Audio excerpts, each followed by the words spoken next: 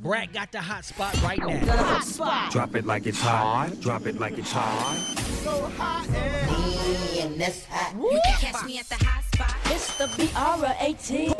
Bringing it Tat, what it do, pimpin'? What up, Rock T? Good morning, Rickey. Good morning, everybody. I'm your girl, Brat Tat Tat, and this is the Hot Spot, where we bring you music, movies, and more. So let's get off into it.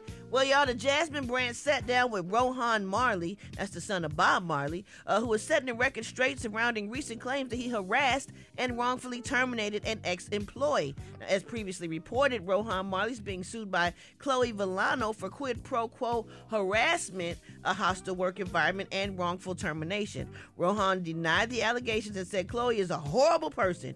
He also said he also shared alleged text messages between himself and Chloe, seemingly discussing their business arrangement. Uh, in alleged messages, Chloe promised to bring big deals to the table and also made it clear that she wanted to work directly with Rohan instead of other staff members. He said, This is why she's mad.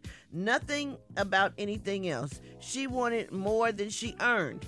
Claims she has all the deals, but no deals. Now, in regards to their business arrangement, Rohan claimed he gave her a sweet deal. He said, I told her to work as she wishes and bring the deals, and I would give her 10% of any deals that she brought to the table. She brought zero deals. This was an issue. All mouth about her history in cannabis, but couldn't provide any value. So, mm-hmm. th- this is what happens, I guess, if you go on the job and don't do what you say you're going to mm-hmm. do.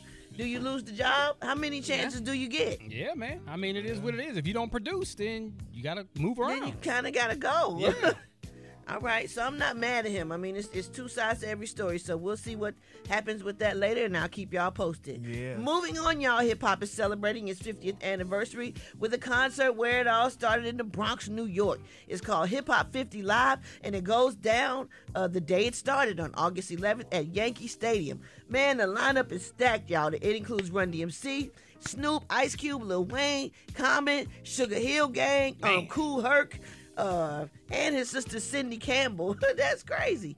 Um, more to be announced. There'll also be queens of hip hop like Eve, Lil Kim, Remy, and Trina. So it's gonna be great. Uh, DMC said, "Up in the Bronx, where it all started, we're gonna be celebrating this historic moment in history, and I'm honored to pay tribute to the culture that allowed this little kid from Queens to grow up and become the mighty king of rock." So y'all, tickets go on sale on Friday. We're gonna wrap up the hot spot right there, where I have a pinch of voice left. But coming up next, we got the praise mix down. The time now is 28 minutes before the top of the hour. It's the Rickey Smiley Morning Show.